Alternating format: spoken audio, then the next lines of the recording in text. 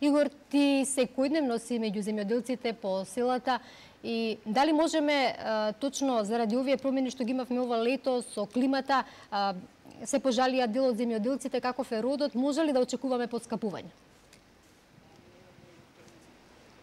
Така бети, факт е дека вакво исклучително лоша година досега не имале земјоделците. Неминовно е дека тоа ќе го почувствуваме сите ние потрошувачите преку цените. Факт е дека веќе и некои од цените се изголемени заради тоа што им се преполовени, драстично им се намалени, родноста е намалена кај земјоделското производство. Тоа мора на некој начин да се компензира.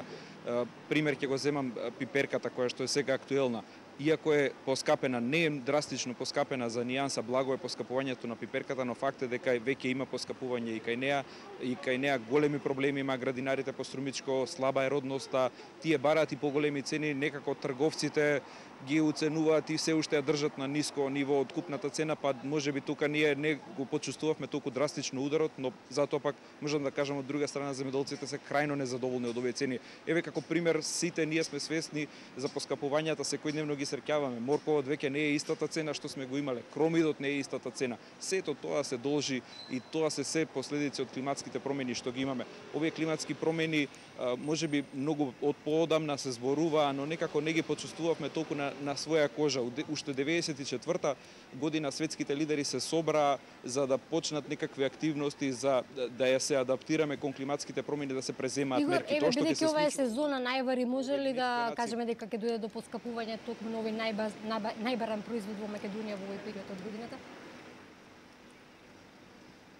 знам дека сите ги интересира ајварот нели во овој период од годината, кој не направил да побрза да направи бидерки, какво е времето, какви се информациите од струмица, на големо им скапуваат пиперките, цената најварот сигурно нема да биде иста како лани, ќе биде благо покачена заради еве пред се ради поскапите пиперки и е, она што се жалат земјоделците и што притискаат и кај трговците покачување на цената на откупната цена тие бараат постојано. Предлагам да погледнеме еден земјоделец е, какви се проблеми имаат тие директно од нива да го слушнеме нивното мислење зошто бараат оправдано да им биде зголемена откупната цена.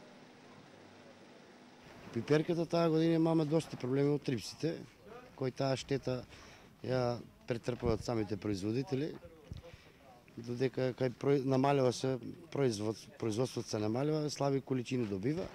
Сепак нашиот земеделец е доста трудолюбив, кој нашето здружение на ВГ Фреш има и формирано, регистрирано и земеделска аптека, имаме и свој собствен агроном, правиме сили напори да тие штети што помалку бидат за нас. Игор, може ли науката да помогне? Има ли некакви решенија како да се спаси производството на храна за да нема поскапување?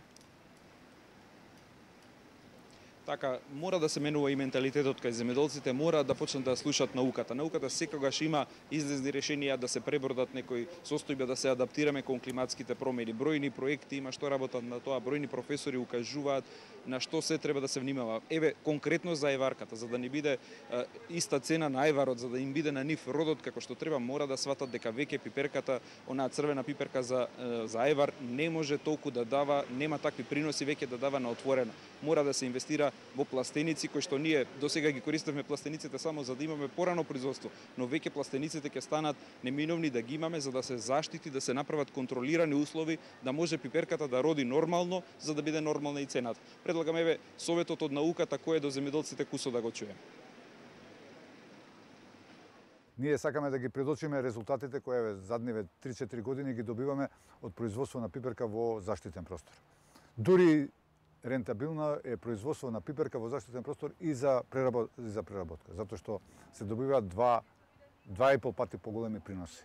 Сето тоа ги оправдува трошоците кои се даваат за конструкцијата и фолијата во заштитените простори. Значи, заштитените простори не, може да, не мораат да служат само за порано или подосно производство, значи во, за да создадат поволни услови внатре, кога надворешните услови не одговараат. Еве го слушнавме советот до земјоделците и сосема накусо за крај Игор те прашувам, а житвата е завршена, сите ги интересира цената на лебот, има ли тука покачување? Можни ли се покачување? Благи Да, благи покачувања, гледаме деновиве за по еден денар, вака символично звучи, но сепак почна да се влечат потези за зголемување на цената на на лебот, сето тоа е факт слабата родност која имаше годинава токму заради сите тие климатски промени, кај нас квалитетот е нешто послаб, мелничарите укажуваат дека мора да увезуваат пченица. За сега можам да кажам само дека цената на лебот ќе ја меси увозната пченица. Таа ќе диктира како ќе се движи цената. Голема среќа е што ние сме еве на некој начин сме увозно зависни од Србија. Не е тоа среќа, но среќа е што не ги зафати таму житородните краишта, оние поплави што ги има.